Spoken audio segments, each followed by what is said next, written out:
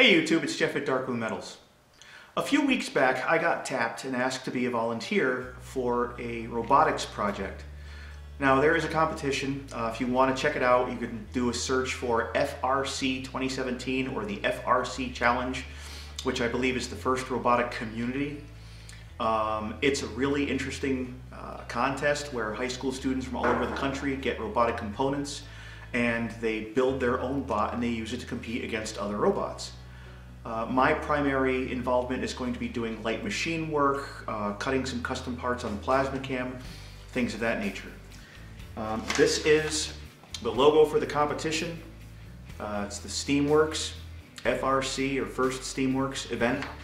And uh, today's video, I'm going to be showing just a few things on the lathe and cutting out the pieces for the climbing device, which will allow the robot to ascend up a piece of rope. Um, this isn't one of my regularly scheduled videos. In fact, the, uh, this video is primarily to benefit the students that I'm working with at the high school. This right here is the shaft that was supplied with the gearbox for the robot.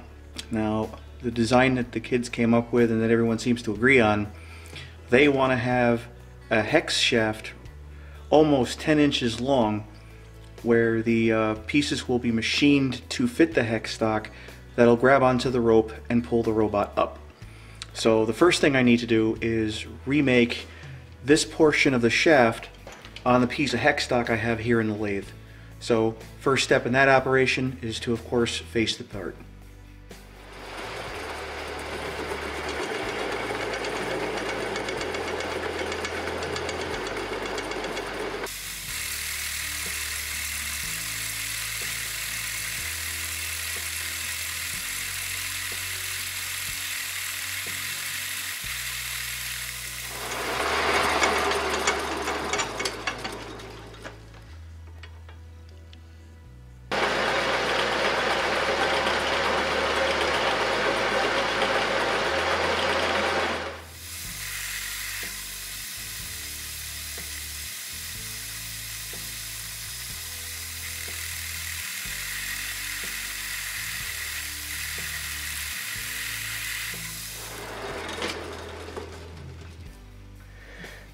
This piece of stock wasn't perfectly straight, and even with that little bit of stick out, I have a little wobble.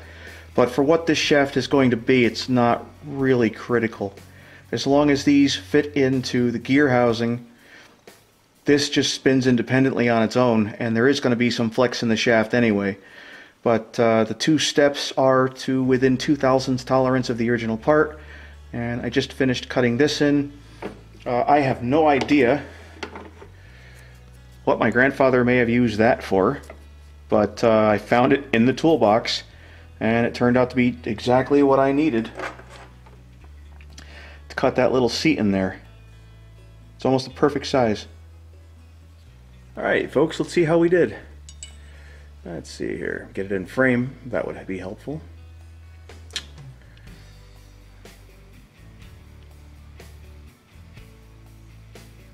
I think we did pretty good. All right, YouTube, so this is the design for uh, what we're calling the fingers. Now what a lot of people are doing is they have a round shaft with pins in it, and as it spins, the pin will catch a loop at the bottom of the rope that the robot is supposed to climb, and as this winds, it'll just pull the robot up. Now because we're using hex stock, we have six sides to work with, we're not using a round shaft, I'm going to design something that looks just like this on the Plasmacam. That way you can put it anywhere you want on the shaft and we're going to have spacers to space them out. Now we don't have the final design of the robot fully in our heads yet of how everything is going to come together. That's why this shaft is very long. It's actually wider than the robot is now. And we're making everything adjustable. So as the guys bring this robot together, we can fine tune things uh, and make sure everything fits where it needs to fit in the end. Alright YouTube, so I'm about five minutes into the Plasmacam software and I'm ready to cut and see where we are.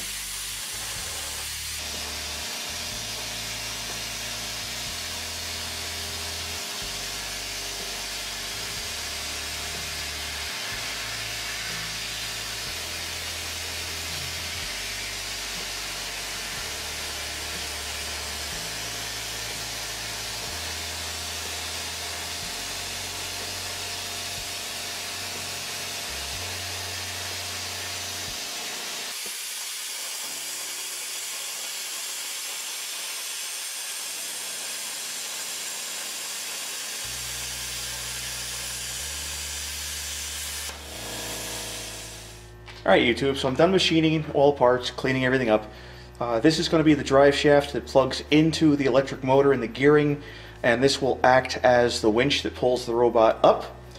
Um, these are the fingers, and everything that I made here today is pretty much being made so it can be adjustable right up until the last minute, just in case we have to change any of the design. Alright YouTube, so here's how the rope climb is going to work. As the robot approaches the rope, this shaft is going to be spinning. And the idea is one of these fingers will catch the loop on the end of the rope. And as the shaft continues to turn, it's simply going to coil up and it's going to allow the robot to move up the rope.